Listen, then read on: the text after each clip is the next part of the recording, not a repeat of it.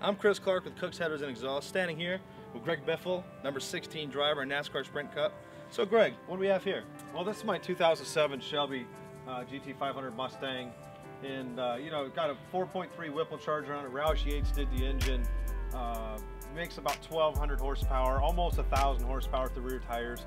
Obviously, uh, Kooks header and full exhaust system on it, so it's uh, it's one of my pride and joy cars, and it's definitely cooking.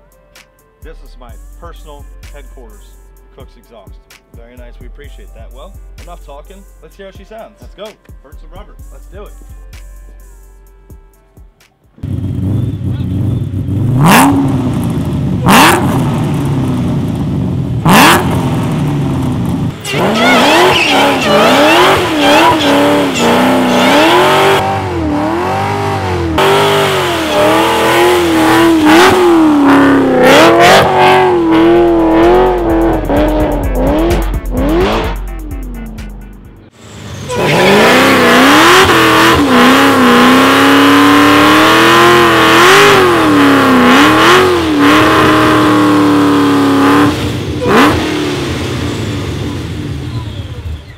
Get cooked.